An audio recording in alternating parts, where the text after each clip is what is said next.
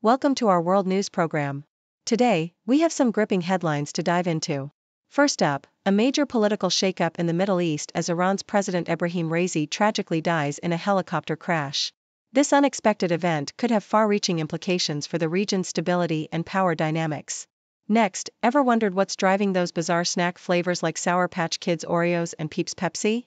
We'll explore how food companies are capitalizing on adventurous consumer tastes and the role of social media in this flavorful revolution.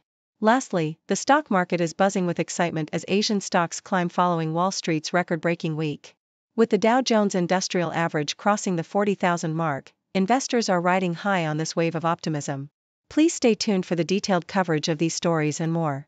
Please continue to watch for the full details. The Associated Press, Iranian President Ebrahim Raisi, a hardline protege of the supreme leader, died at 63 in a helicopter crash in northwestern Iran.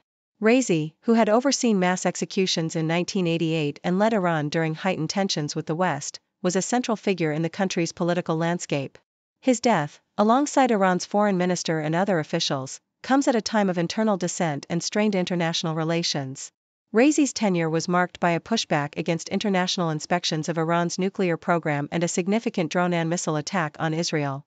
His rise to power was facilitated by Supreme Leader Ayatollah Ali Khamenei, who had groomed Raisi for leadership, possibly even as a future supreme leader.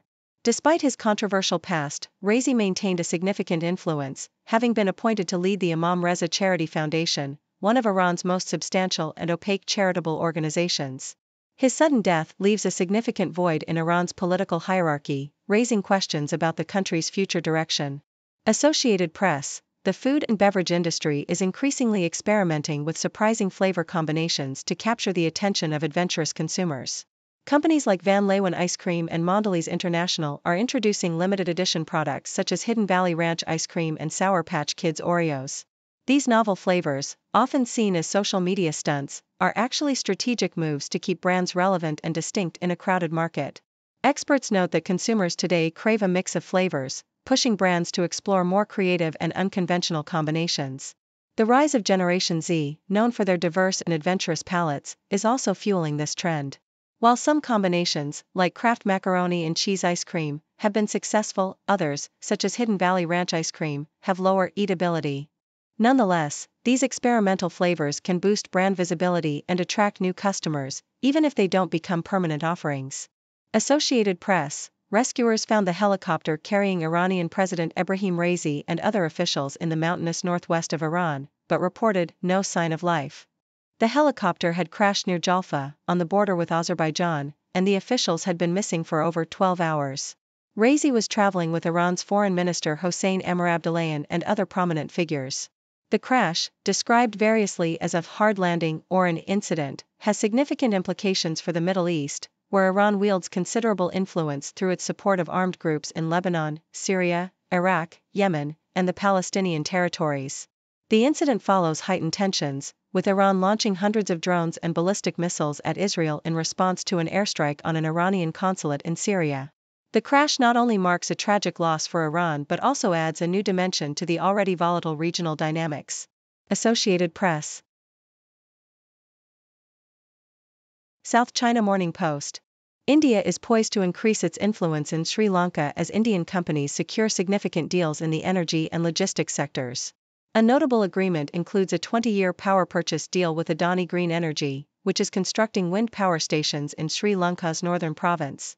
Additionally, the management of Mattala Rajapaksa International Airport has been awarded to an Indian Russian joint venture.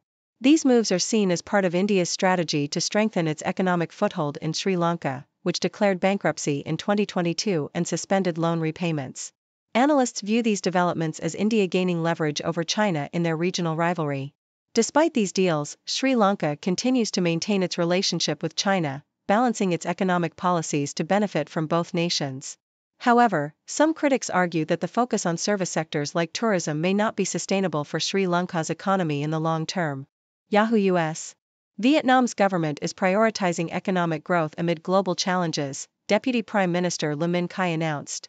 Despite being one of Asia's fastest growing economies, Vietnam faces obstacles such as weak global demand and high inflationary pressures.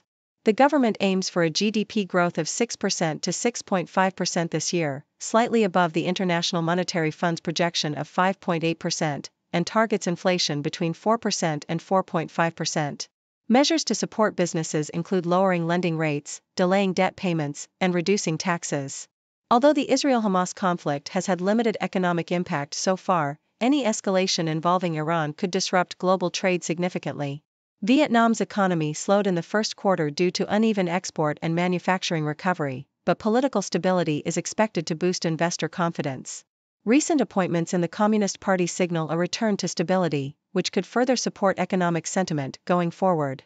Associated Press South Korea is poised to host a mini summit this week focusing on the risks and regulation of artificial intelligence, building on last year's inaugural AI safety meeting in Britain. This gathering in Seoul aims to continue the work started at the UK meeting, which took place at a historic wartime code breaking base in Bletchley and featured a diverse array of tech luminaries, researchers, and officials, including Tesla CEO Elon Musk and OpenAI CEO Sam Altman. The Bletchley Declaration, signed by delegates from over two dozen countries including the US and China, underscored the need to address the potentially catastrophic risks posed by rapid AI advancements. South Korea's summit will see leaders like President Yoon Suk Yeol and British Prime Minister Rishi Sunak joining virtually on the first day, while digital ministers will convene in person on the second day to share best practices and action plans. Topics of discussion will range from safeguarding against AI's impact on energy use and labor markets to combating misinformation. The meeting, which serves as a precursor to a full fledged summit in Paris later this year, will include representatives from major AI players like OpenAI, Google, and Microsoft. Despite the ambitious scope, experts like Professor Lee Songyob from Korea University cautioned that achieving a consensus will be challenging due to differing national interests and levels of AI development. As Meta, OpenAI, and Google continue to roll out advanced AI models, the Seoul Summit seeks to establish global governance norms, though some critics argue that South Korea's AI infrastructure may not yet be robust enough to lead such initiatives. Thank you for tuning in. The content above showcases the latest briefing reports and analytical synopses, thoughtfully curated by the 6Do team. These insights stem from a wide array of reputable media outlets, think tanks, government sources, and specialized experts worldwide. We encourage you to explore these sources for a comprehensive perspective.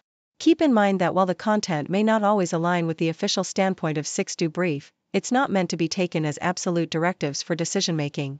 Comprising seasoned media professionals, learned scholars, and accomplished scientists, the 6Do team embodies a trailblazing, fully independent media entity. To customize 6Do Brief to meet your professional needs, you have the option to subscribe to a diverse array of briefings on our website, 6dobrief.com. Regardless of your location, you can conveniently receive 6Do Brief via email.